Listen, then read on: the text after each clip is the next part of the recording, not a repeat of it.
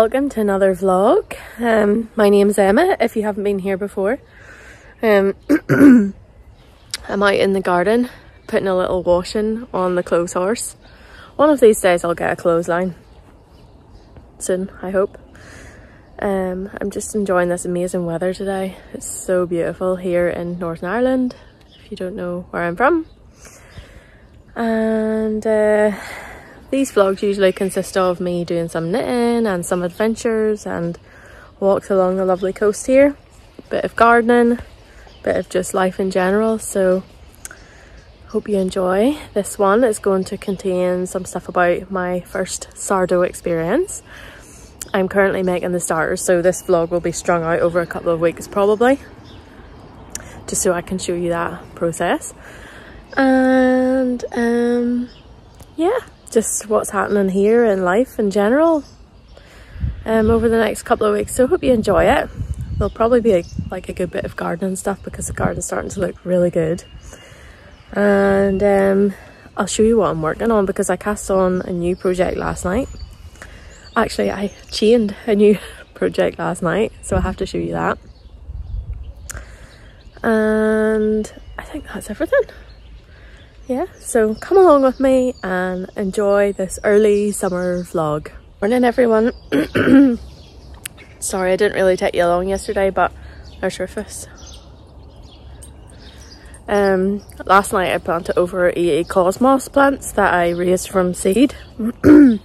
So that was quite a big job and i was very tired at the end of it so um didn't have much energy for vlogging Today I'm actually getting my hair done for the first time in like six months so I'm pretty excited about that and I'm going to a wedding tomorrow so I'll show you how the hair turns out. Um, yeah, I might just show you a close-up of the flower beds at the moment. They're looking pretty nice and I'd say within the next couple of years it'll really start filling out and looking good so I'll just show you what it looks like right now and what's happening right here. Rufus is finding a path in here. I've got some nice lupins and some nice foxgloves. I can't remember the variety. One of these red slash purple ones is called Beefeater. Um, a few of these are from seed as well actually and quite a lot of the foxgloves I grew from seed and the Aquilegia. I would really love to get a whole load more big alliums, big purple alliums and pop them in this bed. This is kind of our wild area. We just kind of let it do its thing and add some additions in there. This bed is um, looking nice and full. I think the we've got a nice delphinium here and another lupin and some cornflower and some astrantia. Um, I have a couple of don't know if it's a good idea to plant these here or not, but globe artichokes. So that look nice. Here's the overall look. and this border is starting to look good now. I have a load of astrantia in this bed and I noticed there's some baby ones have seeded themselves. Look at that. So I'm going to just keep a wee eye on these and then when they get big enough, move them to where I want them to go. But it looks quite good. I took out a broom here. It wasn't very nice looking. So for now I've planted a delphinium and some cosmos, but this area has some problems. I don't know, nothing seems to like thrive in there. I think it's because it's near the hedge and yeah, I'm not really sure. This is looking good. This rose did have some buds on it, but a lot of my plants are getting this foamy thing. I'm not actually sure what that is, but I've noticed it on a few things. The ceanothus is looking actually quite good. I was ready to take out it out as well because I didn't like the shape, but actually it really fills out that space quite well. geums here and here. This astrantia is looking amazing really good beside the ceanothus. In the back, some veronica. That'll come up in purple spikes. That'll look nice. And I've just transplanted in some pulmonaria here and here to fill out these little gaps. Um, some very small Astrantia here. Some feverfew that I popped in this year because I think actually it's a really good plant. I think probably the birds brought it to my garden um, but I think it's a really really good plant. Um, some foxgloves, Actaea, that'll come up in a big white spike. And another one, the black cow parsley is nearly finished now. It's a nice plant. And here you can see where I've started to put in the cosmos. And there's a couple of roses in. See this? Leaf curl, that's, is it sawfly you call that? So that's annoying because it doesn't look as beautiful, but I don't think it will affect the flowering or. I don't know if there's anything you can do about it. But this thing, this rose, um, it's a David Austin or an English rose called Lady of Shalott. And it comes out in apricot flowers with the most unbelievable fragrance. It really is spectacular. Planted some more cosmos there. These are daylilies, hemerocallis, and some more here. And again, I've stuck in some cosmos in the holes in this bed just to fill out this this year. The achillea are looking quite big and bushy. They weren't in the original planting scheme for this bed, but yeah, I think they look okay, but I don't know if they're a long-term solution. The geums are looking amazing. This is Scarlet Tempest and this is totally Tangerine. Um, since the last time you've seen this, I've also put hellebores in the middle here. I took them from different places in the garden and also bought a couple, so that should fill out really well. This is Agapanthus Navy Blue. And I've scattered in some white cosmos, I think they're called candy floss, and some cosmos apricota. This lupin, um, it's not a lupin that I've heard a lot of people talk about, but it's called Persian Slipper. And it's almost blue, like lilac to blue, I would say. It's not in the normal realm of lupin colours. I've got three of them and they're coming up through the geums. They look great. Some more cosmos in there. Some weeds. and my aunt gave me some borage, so I stuck that in there. I think it's just an annual and I transplanted this Astrantia in here. I think that'll look really good on this bed. This is a hydrangea Annabelle actually. Um, I wasn't sure. I cut it to the ground and then I realised, oh, maybe I shouldn't have done that. It's a herbaceous hydrangea, but yeah, I wasn't sure. There's, I think there's a couple of different schools of thoughts. I think if you cut it to the ground and let it regrow, um, it'll be more floppy. Whereas if you prune it um, but then different people say different things, so I'm not really sure. The Aquilegia is out in force. Like, look at Rufus. What is he doing? See that dog? He's trying to escape. We've had some of the most amazing sunshine here the last two days. Oh, this is Geranium Rozanne. This is an unbelievably good plant. Just flowers and flowers and flowers. It's fantastic. Oh, here's my neighbour's dog. Hi, Pip. Don't you go through the flower beds now? I don't like it when you do that. And if these foxgloves self-seed themselves, so I popped them in here. I took them out of where they were and popped them in here. And some more cosmos. Um, and then I've popped these globe artichokes in here I didn't harden them off very well, but the next few days are going to be kind of warm, so I hope they're okay. I think they were really suffering in the pots they were in, so hopefully they'll be happier in here. Eventually, I think they should look really good. So my plan with this bed is, I think to put kale all around. It was originally fennel, but only one of my seeds germinated, which is annoying. So looks like it's going to be kale. They've like all germinated. This is all the strawberries and I've got some sweet pea here. I have a perennial sweet pea but I've also popped in some seeds um, of the annual sweet pea because they have a nice scent. Um, the rest of this bed is potatoes. Two years ago we thought we picked them all out and now look at them. Can't get rid of them once you put them in. Because last year I had, this is all filled with lovely dahlias. And now it's filled with potatoes.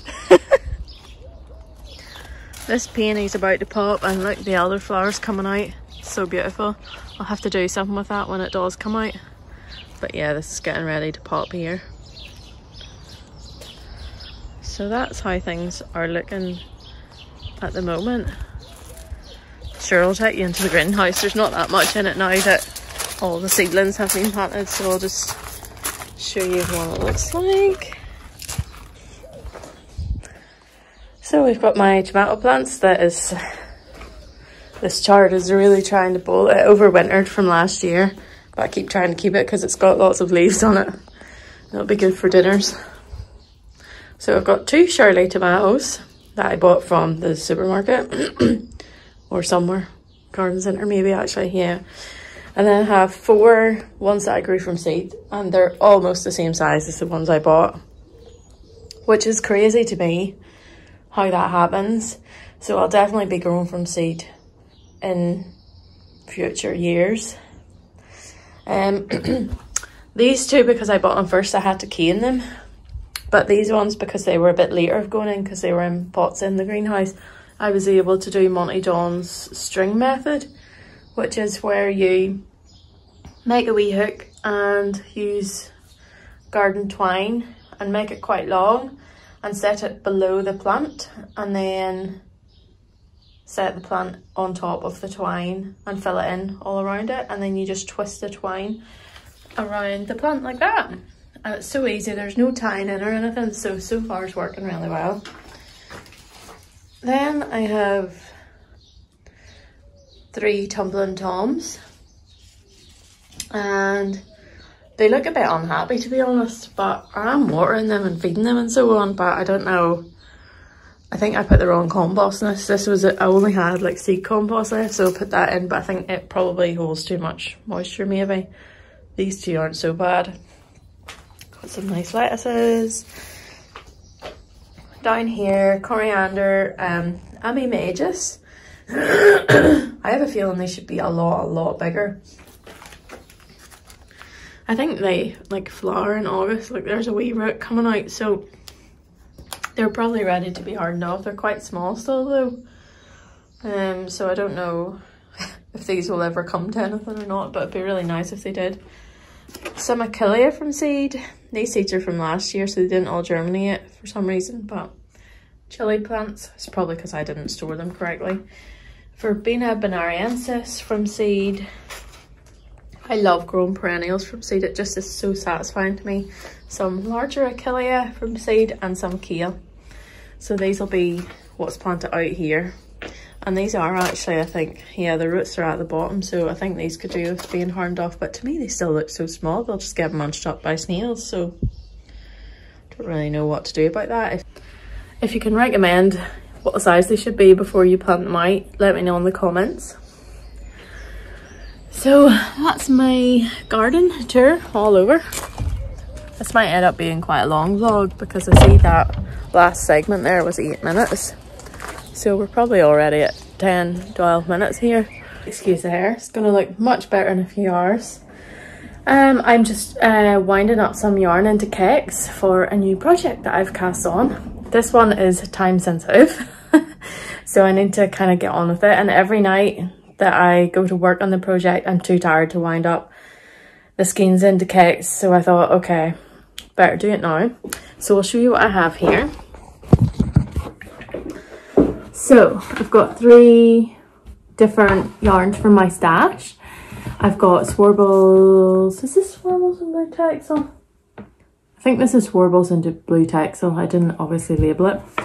This is, I think, Hearth DK in an indigo colour.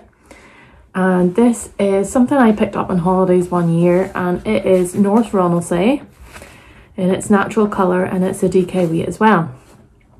So I have cast on a crochet baby blanket in the V-stitch.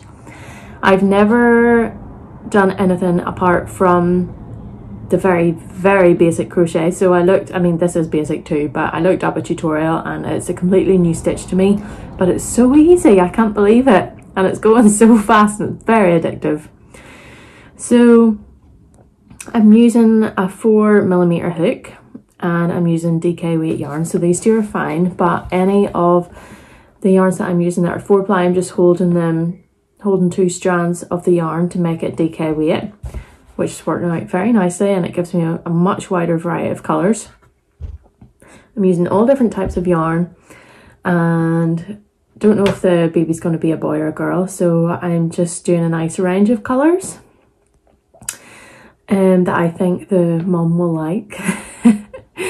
so um, yeah, I'm just going to wind these up now.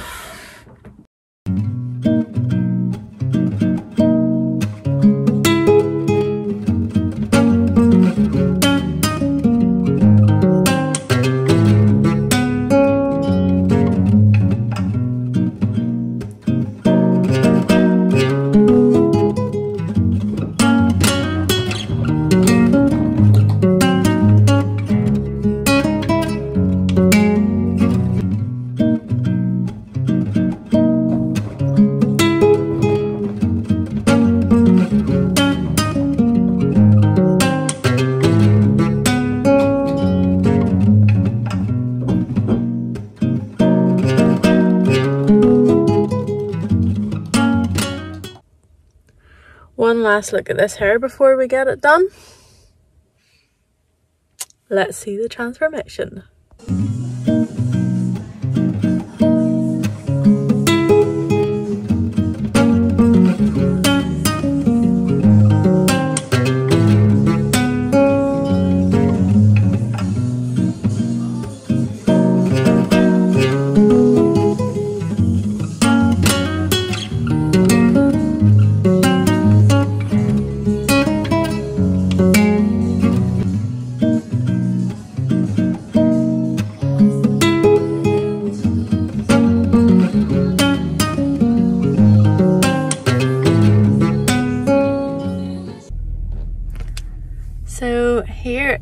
Final look of the hair. I'm really, really pleased with it. I think it's going to look great at the wedding tomorrow. Um, I'm almost home now, so I left off some parcels at the sorting office and I thought, I forgot there's two things I still have to tell you. I have started sourdough start, so I want to show you that over the next couple of days. And I have some big news. But I'm going to share that a little bit later, but by the time you see this video, it'll all be confirmed legit and I'll be able to show you properly. So I'm gonna go for today and enjoy the sunshine because it's never sunny here and I will speak to you probably in a couple of days time. Um, yeah, see you soon. Morning Rufus. So it's the next morning. I was at a lovely wedding yesterday. My little girl was having a sleepover with Granny and Granda, so I had a lie in until half eight. It's now quarter to nine, and I'm going to feed my sourdough starter. This is day eight, so technically it could be ready to use, but I don't think it is because it's not bubbly the whole way through. So I'm going to have a wee look at it here, feed it, and see how it's going. I'm using um, Elaine Foodbod her method of making a starter and I'll be using her method to make the bread. So I'm hoping in the next sort of week or so I'll be able to do that. I'm pretty excited. So yeah, I'll show you my starter here. I've got this little hat on. It's just a silicone bag that you can store stuff in in the fridge or freezer. It's the only thing I had, so seems to be working fine. This is how it's looking at the moment. Not too bad, is it? But it's not like super bubbly, I wouldn't say. And on the bottom, I'll show you on the bottom. Like there's no bubbles there. Should there be bubbles there? Not sure. Gonna do another feeding and see how we go.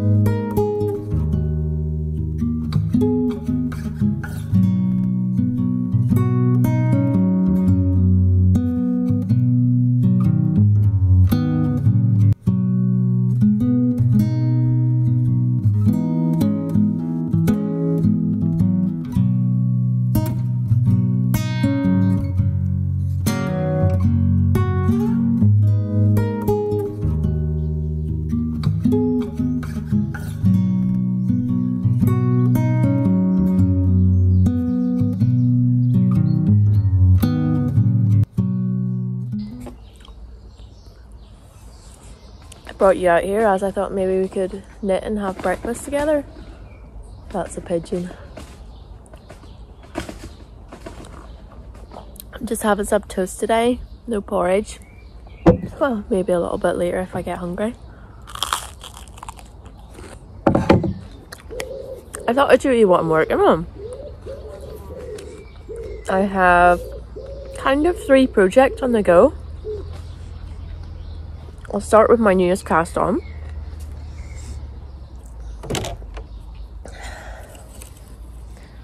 This is a the start of a baby blanket. This is about the same width as all the baby blankets I make because I like them to fold over once so that they can be used um, in like car seats and stuff. So this is for um, a relative of mine and um, the baby's due at the end of July so basically I need to get this finished. But you know what? I'm so surprised how fast this is going. This is crochet and it's the V stitch.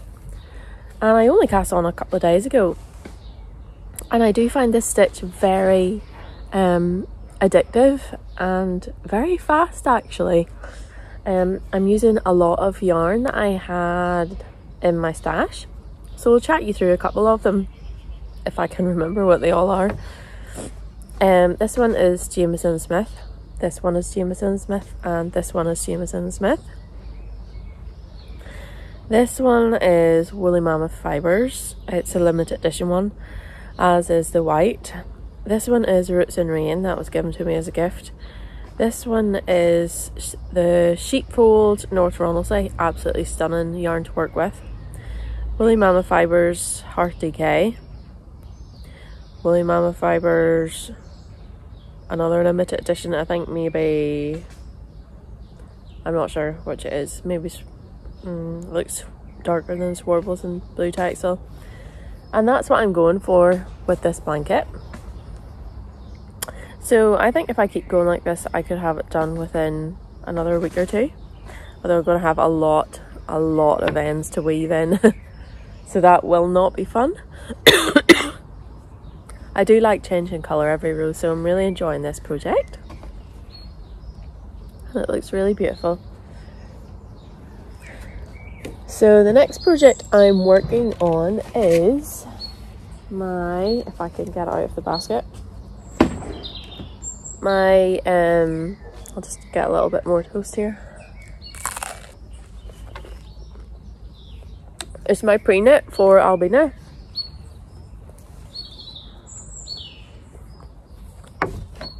I'm putting a bit of length on this as well. So for this I'm using two strands of my natural silk yarn, which I've never done before, in a sweater. The swatch turned out so nice. After blocking, it was so lovely. So I just thought I need to use this in a project. So I have to knit until it's 35 centimeters long. I haven't measured this in a while, but I think it's maybe getting close. Like I'd say it could be within a few centimeters of that. As you can see, I'm marling two colors together. These are two of my newer colors. The limey green is called Mojito Fizz, and the pink is called Candy Floss. I think I have some of each in the shop right now, if you're interested. Oh, there's the dog, that scared me. um, so yeah, and I'm looking forward to, like, look at that marl. The light's not great just here. I'll try and do a better photo in another place in the garden, but it's nice and bright and summery and I'm really enjoying knitting on it. And everyone who sees me knitting on it comments on the colours. Which is very satisfying when you dye them. um, right, next project. I suppose I should say what I'm wearing. This is my Dropp sweater by Ailbiona as well. I'm on a little um, Ailbiona, basically almost everything I'm knitting in the last few months has been by her. I just think she's a really, really good designer. She's an absolute genius and I don't know what way her brain works, but my brain does not work like that. so hats off to her. Um, I would also like to knit her timepiece jumper. I think it looks really elegant and it would be nice in one colour. Maybe, I don't know what weight it is, I think it might be sport weight. I could maybe use my hearth sock and get gauge, but I don't know, I'd have to experiment and see. So last but not least is my dangerous knit needle. Is my garter stitch jumper light mini or something it's called by Kat and Leni.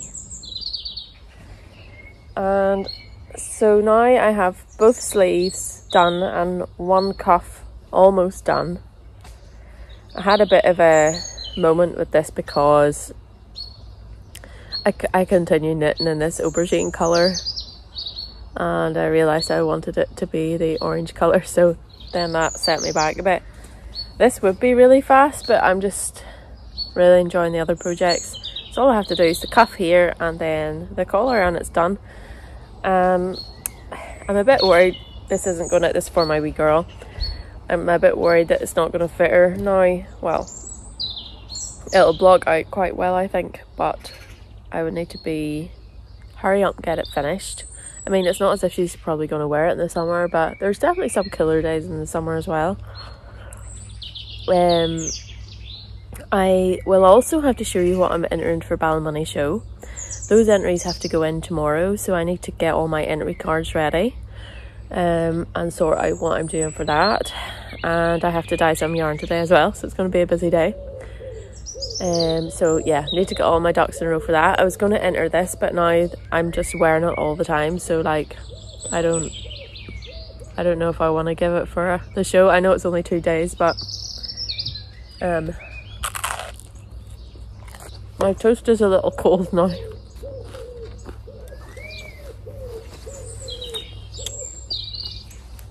So that's all my current projects that I'm working on at the moment. So I'll show you my entries later. And then maybe in the next few days, I will tell you about my big surprise that I have to tell you about. So stay tuned for that.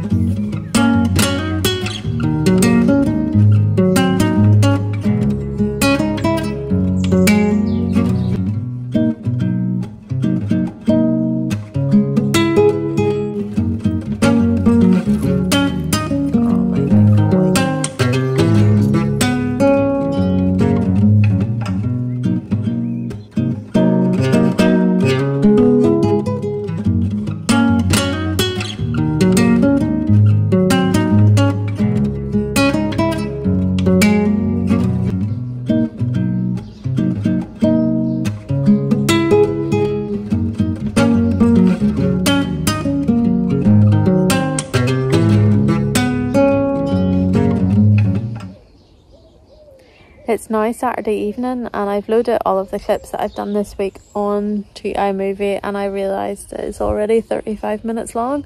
So I'm going to wrap it up here and then I will catch up with you all in the next vlog which won't be too long away I don't think um, because I have so much to fill you in on. So stay tuned for that. Subscribe if you haven't already and you would like to. And um, see you next time. Bye.